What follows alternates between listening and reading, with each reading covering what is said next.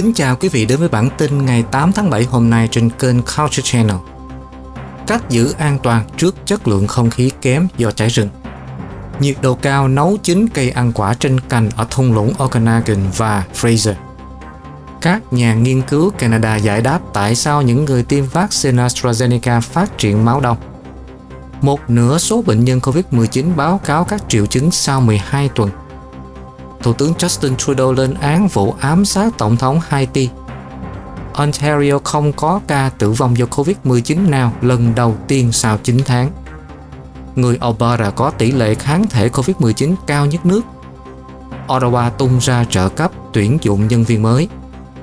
Người mua nhà ở Quebec mất hàng triệu đô la khi nhà phát triển địa ốc phá sản lô đất trống ngập ở trong hồ nước ở Ontario được rao bán với giá 99.000 đô la.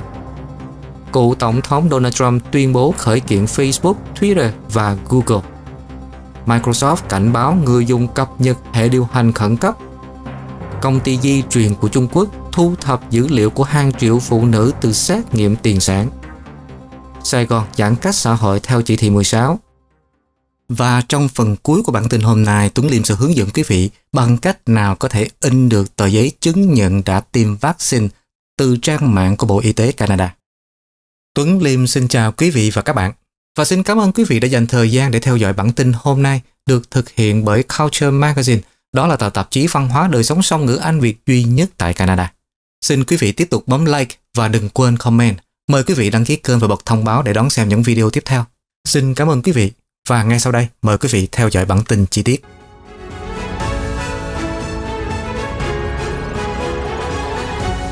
Cách giữ an toàn trước chất lượng không khí kém do cháy rừng Cảnh báo về chất lượng không khí đã được áp dụng trên hầu hết các khu vực phía nam interior của PC, nguy cơ hỏa hoạn trong tỉnh rất cao. Naomi Zimmerman, phó giáo sư kỹ thuật cơ khí tại Đại học PC, nói rằng người dân không nên đợi có cảnh báo về chất lượng không khí mới bắt đầu chuẩn bị bảo vệ bản thân. Theo bà Zimmerman thì chất lượng không khí kém và tình trạng khói bụi là vấn đề đặc biệt đáng lo ngại đối với những nhóm dân cư dễ bị tổn thương. Nhóm này bao gồm người mang thai, người lớn tuổi, trẻ nhỏ và những người có bệnh mãn tính như là hen suyễn và các bệnh đường hô hấp khác. Sau đây là một số lời khuyên về cách đối phó với chất lượng không khí kém. Thứ nhất là đóng cửa sổ khi các đợt cháy rừng đang diễn ra hạn chế thời gian ở ngoài trời và tránh tập thể dục khi có cảnh báo về chất lượng không khí. Nếu bạn phải ra ngoài trời thì hãy đeo khẩu trang, tránh hút thuốc hoặc là thắp nến ở trong nhà.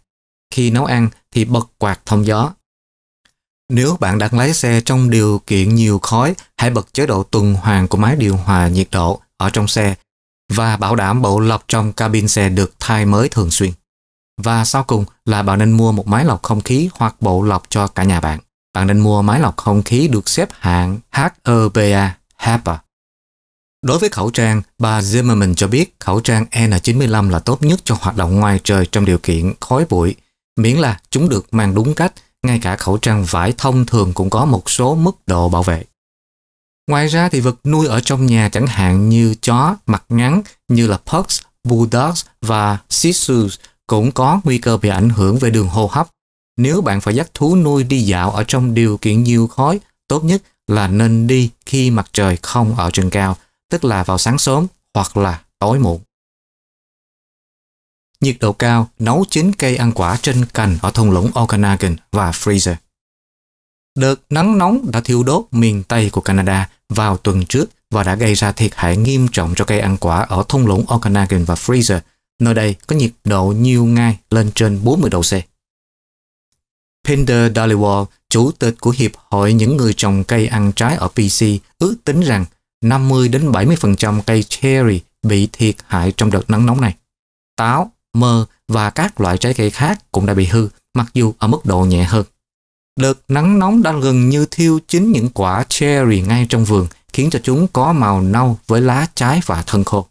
Bởi vì nhiệt độ ban đêm cũng cao, cherry không có thời gian để hạ nhiệt giữa những ngày oi bức. Supao Bao, một nông dân trồng trái cây ở Kelowna và là chủ tịch của Hiệp hội Cherry ở tỉnh PC, lưu ý rằng ông đã có một vụ cherry sai quả vào mùa này trước đợt nắng nóng, một trong những vụ cherry tốt nhất mà ông từng thấy trong 20 năm. Tuy nhiên, hầu hết các quả cherry đã bị hư đến mức không thể sử dụng để làm nước ép hoặc xay nhuyễn. Trong khi có rất nhiều quả cherry vẫn còn trong tình trạng rất tốt, ông Bao nói rằng họ sẽ phải xem chúng chính như thế nào khi nhiệt độ tiếp tục cao. Quả mân soi và quả Việt Quốc cũng bị ảnh hưởng nặng tại trại Aberystwyth của David Merckx ở thung lũng Fraser phía đông Vancouver. Thiệt hại nặng nề nhất xảy ra trong khoảng thời gian 3 ngày từ thứ Bảy ngày 26 tháng 6 và thứ Hai ngày 28 tháng 6. Ông Merckx ước tính rằng 75% mân sôi đầu mùa và từ 10 đến 30% Việt Quốc có chất lượng kém đến mức chúng chỉ có thể được sử dụng để làm nước ép. Các nhà nghiên cứu Canada giải đáp tại sao những người tiêm vaccine AstraZeneca phát triển máu đông.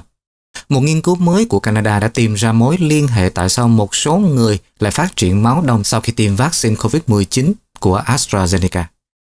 Các nhà nghiên cứu tại Đại học McMaster ở Hamilton, Ontario đã chỉ ra một nhóm các axit amin có thể được nhắm mục tiêu bởi các kháng thể quan trọng trong máu sau khi vaccine gây ra phản ứng đông máu dữ dội đối với một số người. Tuy nhiên thì các chuyên gia nhấn mạnh rằng tỷ lệ phát triển máu đông từ liều vaccine AstraZeneca đầu tiên là thấp và thậm chí còn thấp hơn liều thứ hai. Tiến sĩ Isaac Nisi, tác giả chính của nghiên cứu và là giám đốc khoa học của phòng thí nghiệm miễn dịch tiểu cầu McMaster nói rằng những phát hiện mới có thể giúp cho các bác sĩ đưa ra chẩn đoán và điều trị nhanh hơn cho chứng đông máu này. Nhóm nghiên cứu tại McMaster đã liên hệ với AstraZeneca và Johnson Johnson về những phát hiện của họ, trong khi Canada không còn khuyến nghị sử dụng vaccine AstraZeneca. Tiến sĩ Isaac Nazy cho biết điều quan trọng là phải tiếp tục nghiên cứu tác dụng phụ hiếm gặp này vì nhiều quốc gia khác vẫn tiếp tục sử dụng vaccine AstraZeneca. Một nửa số bệnh nhân COVID-19 báo cáo các triệu chứng sau 12 tuần. Một đánh giá mới của cơ quan y tế công cộng của Canada cho biết hơn một nửa số bệnh nhân COVID-19 có thể trải qua các hội chứng sau COVID trong hơn 3 tháng sau khi xét nghiệm dương tính. Bản đánh giá đã xem xét hơn 20 nghiên cứu từ khắp nơi trên thế giới, trong đó bệnh nhân COVID-19 được yêu cầu báo cáo sự tồn tại của ít nhất một triệu chứng lâu dài. Những phát hiện ban đầu cho thấy hơn 8 trong số 10 người có ít nhất một triệu chứng kéo dài từ 4 đến 12 tuần sau khi chẩn đoán và hơn một nửa cho biết các triệu chứng kéo dài sau 12 tuần. Mệt mỏi, nhức mỏi, khó thở và rối loạn giấc ngủ là những vấn đề phổ biến nhất, sau đó là lo lắng, ho và rụng tóc. Giám đốc Y tế Công cộng tiến sĩ Theresa Tam cho biết rằng trong khi hầu hết mọi người sẽ phục hồi hoàn toàn sau COVID-19 trong vòng vài tuần, tình trạng hậu COVID dài có thể sẽ ảnh hưởng đến mọi lứa tuổi bất kể vào lúc đầu họ bệnh như thế nào. Thủ tướng Justin Trudeau lên án vụ ám sát Tổng thống Haiti. Hôm thứ Tư, Thủ tướng Justin Trudeau cùng các nhà lãnh đạo thế giới đã lên án vụ ám sát Tổng thống Haiti, ông Jovenel Moïse. Thủ tướng Trudeau gọi cuộc tấn công nhằm vào Tổng thống Haiti là kinh hoàng và nói thêm rằng Canada sẵn sàng hỗ trợ người dân Haiti và đưa ra bất kỳ sự hỗ trợ nào mà họ cần. Tổng thống Moïse đã bị giết trong một cuộc tấn công vào tư dinh vào đầu ngày thứ Tư. Đệ nhất phu nhân Martin Moïse bị bắn trong vụ tấn công qua đêm và phải nhập viện. Hiện vẫn chưa rõ ai đứng sau vụ ám sát ở nước Haiti, nơi mà càng ngày càng có nhiều sự bất ổn trong những năm gần đây. Vụ ám sát đã gây ra cơn sốc trong cộng đồng các nhà lãnh đạo ở Mỹ Latin, châu Âu và Mỹ, cùng với những lời kêu gọi hãy bình tĩnh và đoàn kết ở các quốc gia Caribe đang gặp khó khăn. Các phản ứng ban đầu khác phản ánh mối lo ngại về an ninh của Haiti. Thư ký báo chí Nhà Trắng là bà Jen Psaki cho biết Hoa Kỳ sẵn sàng hỗ trợ Haiti trong thời điểm cần thiết.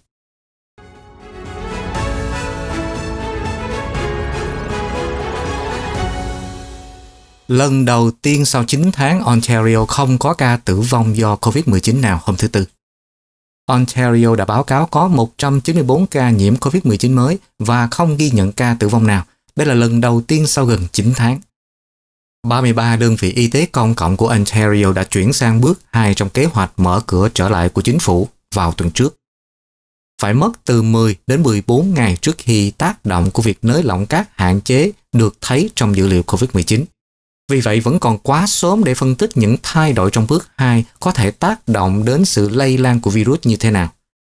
Tuy nhiên, các chỉ số chính tiếp tục cho thấy đại dịch đã thuyên giảm đáng kể ở Ontario. Tuy nhiên, sự hiện diện của biến thể Delta vẫn là một nguy cơ đáng kể đối với những người chưa được tiêm chủng hoặc chỉ mới tiêm một mũi đầu tiên. Ước tính mới nhất từ Ban Tư vấn Khoa học COVID-19 của Ontario cho thấy biến thể Delta hiện chiếm khoảng 82% tổng số ca mắc mới ở trong tỉnh. Theo Bộ trưởng Bộ Y tế Christine Elliott, tỉnh Ontario sẽ không chuyển sang bước 3 sớm hơn ngày 21 tháng 7.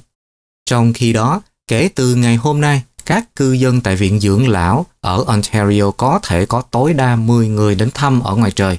Họ cũng có thể gặp tối đa hai người khách và hai người chăm sóc thiết yếu ở trong nội thất. Một số cập nhật khác về tình hình COVID-19 ở Canada. Tính đến tối ngày 7 tháng 7 thì Canada báo cáo có thêm 548 ca COVID-19 mới, nâng tổng số ca COVID-19 của Canada lên mức 1.418.632. Trong đó thì có 5.467 ca còn bệnh, 1.386.760 ca, tức là trên 96% đã phục hồi. Số ca tử vong là 26.387. Cho đến hôm nay đã có hơn 40,5 triệu mũi vaccine đã được tiêm trên khắp Canada. Trong đó có gần 26 triệu người hay là 86% dân số đã được tiêm ít nhất là một liều, có 38% dân số đã tiêm chủng đầy đủ hai liều. Tại Quebec, các quan chức y tế hôm thứ Tư báo cáo có thêm một ca tử vong và 103 ca nhiễm COVID-19 mới. British Columbia có 59 ca nhiễm mới và không có ca tử vong nào. Alberta báo cáo có 67 ca nhiễm mới và 2 ca tử vong. Saskatchewan báo cáo một ca tử vong và 53 ca nhiễm mới. 50% dân số đủ điều kiện đã được tiêm chủng đầy đủ.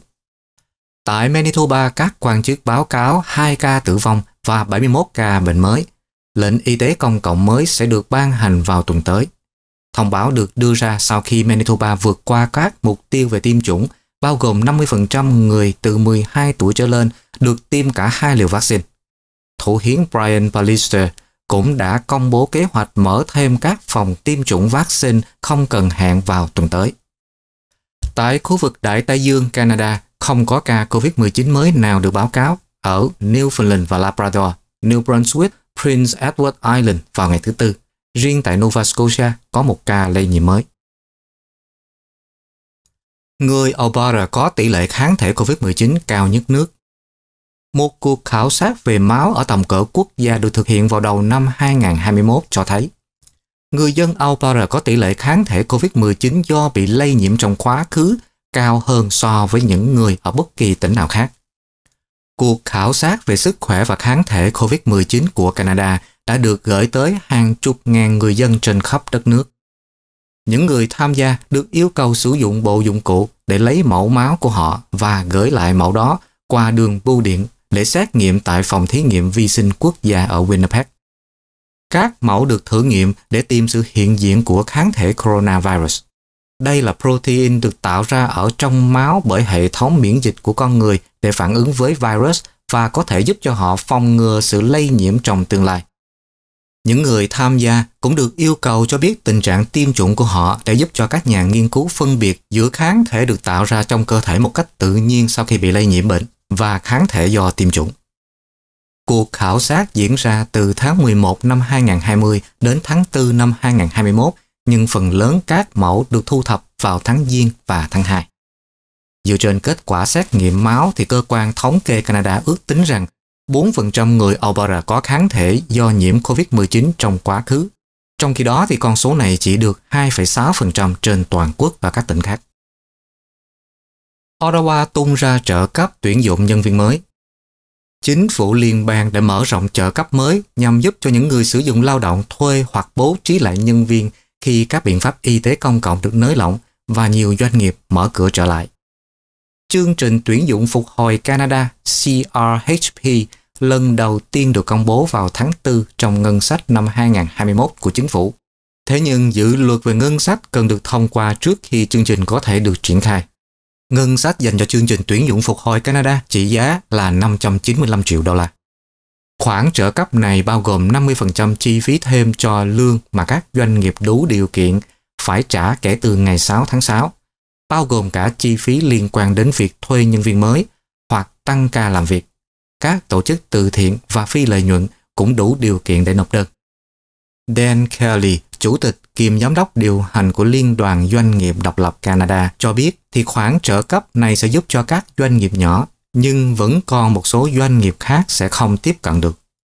Để nhận được trợ cấp này, một doanh nghiệp cần phải đủ điều kiện để được trợ cấp tiền lương khẩn cấp của Canada, CEWS, tức là họ phải bị mất doanh thu do đại dịch.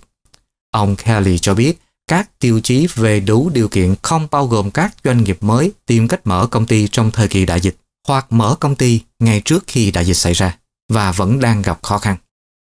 Các doanh nghiệp có thể đăng ký cho hai chương trình CEWS và CRHP cùng lúc, nhưng sẽ chỉ nhận được các khoản thanh toán từ chương trình nào có giá trị cao hơn. Người mua nhà ở Quebec mất hàng triệu đô la khi nhà phát triển địa ốc phá sản. Hiệp hội của các nhà xây dựng nhà của Quebec đã đệ đơn đến cảnh sát để khiếu nại một nhà thầu xây dựng địa ốc ở Laval đã phá sản vào tuần trước là mất ít nhất 17 triệu đô la tiền đặt cọc từ những người mua nhà. Cô Lisa Adahe Doyen là một trong những người mua đó. Kế hoạch của cô là xây lại một ngôi nhà ở Laval thành ngôi nhà mơ ước của mình. Cô và chồng đã giao dịch với một nhà thầu nổi tiếng có tên là Bell Habitat Incorporated. Họ hứa sẽ giao nhà vào tháng Giêng. Và họ đã trả trước cho nhà thầu khoảng 200.000 đô la để thực hiện dự án. Nhưng họ bắt đầu thấy nhiều báo động đỏ sau đó. Sự chậm trễ, các vấn đề về thủ tục giấy tờ và tin đồn về các hóa đơn chưa thanh toán bắt đầu xuất hiện.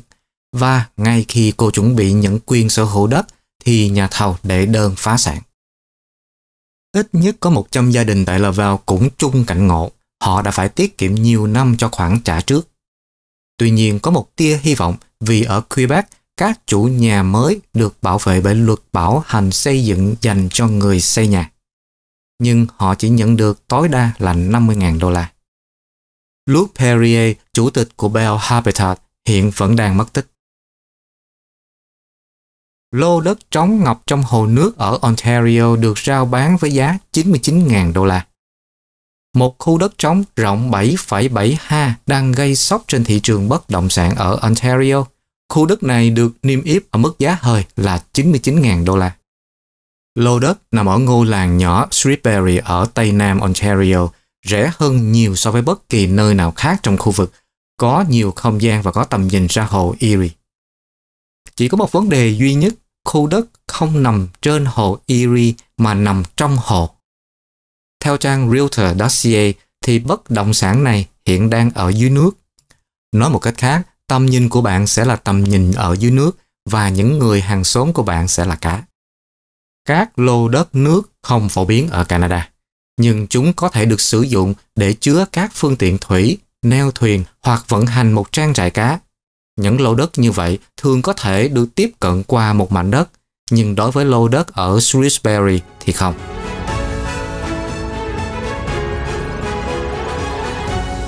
Tiếp theo là một số tin tức thế giới đáng chú ý hôm nay. Donald Trump tuyên bố khởi kiện Facebook, Twitter và Google. Cựu Tổng thống Hoa Kỳ ông Donald Trump tuyên bố vào hôm thứ Tư ông đang khởi kiện ba trong những công ty công nghệ lớn nhất ở nước Mỹ đó là Facebook, Twitter và Google cũng như CEO của những công ty này. Với tư cách nguyên đơn chính, ông Trump tuyên bố ông đã bị kiểm duyệt sai do các công ty này. Ông nói, chúng tôi đang yêu cầu chấm dứt các shadow banning, sự im lặng và danh sách đen, trục xuất và xóa bỏ mà các bạn đều biết rõ. Sau khi những người ủng hộ cho ông Donald Trump xông vào điện Capitol hôm 6 tháng Giêng, ông đã bị đình chỉ khỏi Twitter và Facebook do các công ty này viện dẫn và lo ngại ông sẽ tiếp tục kích động thêm bạo lực. Cựu Tổng thống Donald Trump vẫn tiếp tục tung tin là ông đã thắng cử trong cuộc bầu cử cuối năm 2020. Mặc dù kết quả trong thực tế thì ngược lại, tuy nhiên ông Trump cho là đã có gian lận trong bầu cử mà các phương tiện truyền thông chính tại Hoa Kỳ đã cho là vô căn cứ. Theo điều khoản số 230 của đạo luật về khuôn phép trong thông tin năm 1996, thì các công ty Internet thường được miễn trách nhiệm đối với tài liệu mà người dùng đăng tải. Điều luật này đã cung cấp một bến đỗ an toàn hợp pháp cho các công ty Internet và cũng cho phép các nền tảng truyền thông xã hội kiểm duyệt dịch vụ của họ bằng cách xóa bài đăng miễn là những công ty này hành động trong thiện chí. Nhưng ông Donald Trump và các chính trị gia khác từ lâu đã lập luận rằng Twitter và Facebook và các nền tảng truyền thông xã hội khác đã lạm dụng sự bảo vệ của điều khoản 230 và nên tước đi quyền miễn trừ này, hoặc ít nhất phải đạt được quyền miễn trừ đó bằng cách đáp ứng yêu cầu do chính phủ đặt ra. Facebook, Google và Twitter đều từ chối bình luận hôm thứ Tư. Microsoft cảnh báo người dùng cập nhật hệ điều hành khẩn cấp. Sau khi tìm thấy lỗ hổng nghiêm trọng Print Nightmare ảnh hưởng đến dịch vụ Windows Print Spooler trong hệ điều hành, Microsoft kêu gọi người dùng Windows cài đặt bản cập nhật. Microsoft cảnh báo tin tặc khai thác lỗ hổng có thể cài đặt, xem và xóa dữ liệu hoặc thậm chí là tạo tài khoản mới với đầy đủ quyền của người dùng. Từ đó thì tin tặc có thể kiểm soát máy vi tính của bạn để gây ra nhiều thiệt hại nghiêm trọng hơn. Ngoài Windows 10, Windows 7 ngưng hỗ trợ vào năm ngoái cũng bị ảnh hưởng bởi lỗ hổng này. Tuy không phát hành bản cập nhật cho Windows 7 nữa, nhưng Microsoft cũng có bản sửa chữa cho hệ điều hành 12 năm cũ này. Điều này cho thấy mức độ nghiêm trọng của lỗ hổng Print Nightmare. Công ty về di truyền của Trung Quốc thu thập dữ liệu của hàng triệu phụ nữ từ xét nghiệm tiền sản. Một công ty về di truyền của Trung Quốc đã cộng tác phát triển những xét nghiệm tiền sản với quân đội, bán và sử dụng chúng để thu thập dữ liệu từ hàng triệu phụ nữ nhằm nghiên cứu sâu hơn về các đặc điểm của quần chúng. Các cố vấn chính phủ Mỹ đã cảnh báo vào tháng 3 một ngân hàng dữ liệu di truyền lớn PGI đang tích lũy và phân tích bằng AI có khả năng mang lại lợi thế cho Trung Quốc về kinh tế và chính trị. Công nghệ này có thể thúc đẩy Trung Quốc chi phối dược phẩm toàn cầu, cũng như có khả năng cải tiến về mặt di truyền cho binh lính hoặc các tác nhân gây bệnh nhắm vào dân số Hoa Kỳ hay nguồn cung cấp thực phẩm.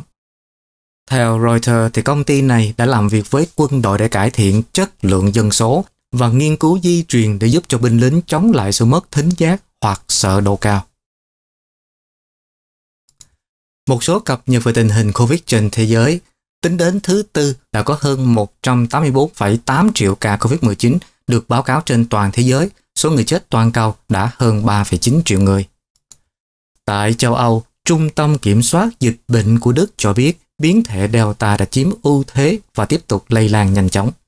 Theo phân tích mới nhất, 59% ca nhiễm mới là do Delta gây ra vào cuối tháng trước. Số ca bệnh từ biến thể Delta đã tăng gần gấp đôi trong vòng một tuần. Một phát ngôn viên của chính phủ Pháp cũng cho biết coronavirus đang tăng trở lại do biến thể Delta. Theo ông, các ca bệnh đã tăng 20% so với tuần trước ở Pháp. Ở châu Mỹ, New York đã tổ chức một cuộc diễu hành cổ động cho các nhân viên chăm sóc sức khỏe và những người đã giúp cho thành phố vượt qua những ngày đen tối nhất của COVID-19, trong khi các nhà chức trách ở Missouri phải vật lộn để ngăn chặn tốc độ lây truyền nhanh của biến thể Delta. Tại khu vực châu Á-Thái Bình Dương, Nhật Bản đang cân nhắc việc cấm tất cả khán giả tham dự Thế vận hội. Các nhà chức trách dự kiến sẽ công bố tình trạng khẩn cấp tại Tokyo 16 ngày trước khi Thế vận hội bắt đầu. 12 bộ trưởng Ấn Độ đã từ chức hôm thứ Tư vài giờ trước cuộc cải tổ nội các của Thủ tướng Narendra Modi nhằm cải thiện hình ảnh của nước này sau những chỉ trích lan rộng về cách họ xử lý đại dịch COVID-19. Ấn Độ đã ghi nhận 400.000 ca tử vong do coronavirus kể từ khi đại dịch bắt đầu. Các ca mắc mới đang giảm sau khi vượt quá 400.000 ca mỗi ngày vào tháng 5. Nhưng các nhà chức trách đang chuẩn bị cho một đợt Covid khác có thể xảy ra và đang tìm cách tăng cường tiêm chủng. Một đợt phong tỏa kéo dài 2 tuần ở Sydney đang được kéo dài thêm một tuần nữa do phần lớn dân số chưa được tiêm chủng. Thủ hiến bang New South Wales Gladys Berejiklian cho biết, các chuyên gia y tế khuyến nghị tiếp tục phong tỏa Sydney đến nửa đêm ngày 16 tháng 7 bởi vì chỉ có 9% người lớn Úc được tiêm chủng đầy đủ đã làm dấy lên sự lo ngại về biến thể Delta có thể nhanh chóng lây lan ngoài tầm kiểm soát. Sài Gòn giãn cách xã hội theo chỉ thị 16. Chính quyền Sài Gòn quyết định giãn cách xã hội trong vòng 15 ngày từ 0 giờ ngày 9 tháng 7 để phòng chống COVID-19 Quyết định được đưa ra tối ngày 7 tháng 7 trong bối cảnh hơn 8.000 ca nhiễm. Người đứng đầu thành phố ông Nguyễn Thành Phong yêu cầu các địa phương tận dụng 15 ngày giãn cách này để siết chặt các biện pháp phòng chống dịch. Người dân chỉ ra ngoài khi thật sự cần thiết như là đi làm việc tại nhà máy, công xưởng hoặc là đi khám chữa bệnh. Theo ông Phong, tuy số ca nhiễm tăng cao nhưng nguồn lực của thành phố vẫn đảm bảo nên tích trữ hàng hóa là không cần thiết cũng như tập trung đông đúc tại chợ hay siêu thị. Sở Giao thông Vận tải phối hợp với các địa phương lân cận để xe chở hàng hóa được liên tục và thông suốt. Ngoài ra, theo chỉ thị, taxi và xe ôm các loại đều phải dừng hoạt động. Thành phố cũng kiến nghị hạn chế hoặc dừng các loại hoạt động hàng không và đường sắt đi và đến Sài Gòn. Sở Nội vụ sẽ lên phương án cho làm việc tại nhà, chỉ những trường hợp thiết yếu mới đến công sở làm việc. Chỉ thị 16 cũng yêu cầu các công xưởng, các nhà máy bảo đảm thực hiện các biện pháp phòng chống dịch một cách nghiêm ngặt. Đây là lần thứ hai mà Sài Gòn phải thực hiện cách ly xã hội theo chỉ thị 16 sau lần đầu vào tháng 4. Thêm vào đó, theo Việt Nam News, Bộ Y tế đã ra thông báo đến các cơ sở y tế địa phương yêu cầu tất cả những người đến Sài Gòn đều phải tự cách ly tại nhà hoặc tại nơi cư trú 7 ngày kể từ ngày đến, tránh tiếp xúc cộng đồng và những cuộc tụ họp đông người, đồng thời tự theo dõi tình trạng sức khỏe của bản thân. Kính thưa quý vị, cho đến nay thì chắc hẳn trong chúng ta nhiều người đã được tiêm chủng hoặc một liều hoặc hai liều. Và mỗi khi chúng ta đi tiêm chủng thì y tá bác sĩ nơi đó sẽ cho chúng ta một tờ giấy nhỏ là chứng nhận chúng ta ngày hôm đó đã tiêm chủng một liều vaccine. Cho đến nay thì chính phủ Ontario đã từng bước nới lỏng các biện pháp hạn chế và cho phép cư dân bắt đầu đi lại. Điều đó cũng đồng nghĩa là khi chúng ta đi lại, chúng ta cần mang theo một tờ giấy để chứng nhận rằng chúng ta đã tiêm chủng. Trong thời gian gần đây, chúng tôi nhiều lần nhận được câu hỏi bằng cách nào có thể in lại tờ giấy chứng nhận đã tiêm chủng từ trang mạng của Bộ Y tế Canada để tiện cho việc đi lại. Vâng, trong chương trình hôm nay, Tuấn Liêm sẽ trình bày với quý vị cách đơn giản nhất để in được tờ giấy chứng nhận tiêm chủng từ trang mạng của Bộ Y tế tỉnh Ontario. Bước đầu tiên chúng ta cần làm đó là đi vào trang mạng covid19.ontariohealth.ca. Tại trang này thì quý vị nên chú ý là ở phần phía dưới có một ô vuông chưa được dích Chúng ta hãy nhấp chuột vào đó để dích vào ô I have read and understand the terms of use. Thì chữ continue phía dưới sẽ cho chúng ta đi tiếp. Màn hình tiếp theo là màn hình quan trọng là Identify Verification. Nơi đây chúng ta điền vào số của Health Card và cùng hàng ở phía sau đó chúng ta điền vào hai ký tự, tức là hai chữ cái sau cùng của cái số Health Card của mình. Sau đó thì chúng ta lật sang phía sau của Health ở phía bên tay phải chúng ta sẽ thấy có một dãy gồm 9 ký tự thì chúng ta điền vào cái ô này. Kế tiếp thì điền vào ngày tháng năm sinh theo thứ tự năm tháng ngày và dưới cùng là postal code là mã bưu chính của mình. Sau khi quý vị điền hết các thông tin thì chữ Continue ở phía dưới sẽ hiện màu và cho chúng ta đi tiếp. Vâng, ở màn hình tiếp theo thì chúng ta thấy Vaccination Services. Chúng ta thấy có hai khung màu, phía trên màu tím, phía dưới màu vàng. Chữ Continue ở khung màu tím là dùng để đặt hẹn để tiêm vaccine. Và chữ Continue ở khung màu vàng là dùng để cho chúng ta đi vào một trang khác mà có thể in được tờ giấy chứng nhận chúng ta đã tiêm vaccine. Vậy thì tại màn hình này khá đơn giản, chúng ta chỉ cần click vào chữ Continue ở khung màu vàng. Ngay sau đó thì màn hình sẽ cung cấp cho chúng ta thông tin để chúng ta có thể download uh, tờ receipt mà để chúng ta có thể in ra uh, tờ giấy chứng nhận mà chúng ta đã tiêm chủng one of two and two of two.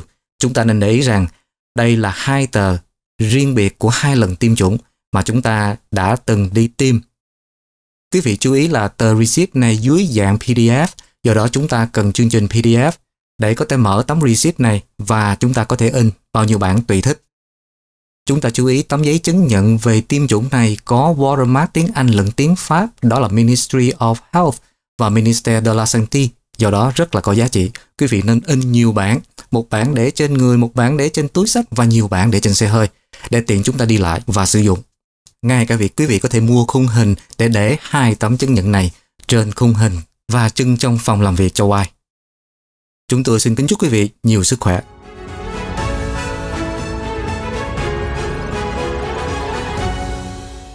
Cập nhật nhanh về đồng đô la Canada và tỷ giá hối đoái.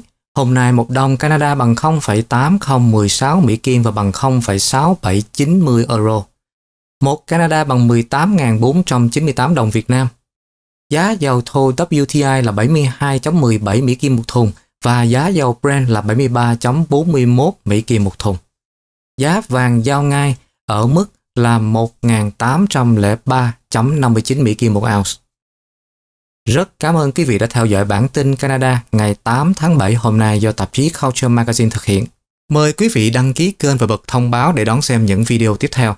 Culture Channel có video tin tức được cập nhật hàng ngày cũng như các video về văn hóa, du lịch, ẩm thực, sức khỏe và đời sống được cập nhật hàng tuần. Mời quý vị đón theo dõi. Tuấn Liêm xin kính chúc quý vị và các bạn nhiều sức khỏe và an lành. Xin chân thành cảm ơn và kính chào tạm biệt. Chính phủ Ontario đã chuẩn bị nhiều thuốc ngừa coronavirus cho mọi người dân trong tỉnh. Bộ Y tế Canada đã phê duyệt nhiều loại vaccine để tiêm chủng tại bệnh viện, phòng mạch bác sĩ, các địa điểm tiêm phòng đại trà để có thể tiêm chủng cho càng nhiều người càng nhanh càng tốt. Hãy cố gắng và nỗ lực đi tiêm phòng đầy đủ trong thời gian sớm nhất có thể. Đặt hẹn tiêm chủng tại trang mạng ontario.ca gạch chéo book vaccine hoặc gọi số điện thoại 1 888 999 6488. Đường dây có hơn 300 ngôn ngữ để phục vụ quý vị. Một lời nhắn từ chính phủ Ontario.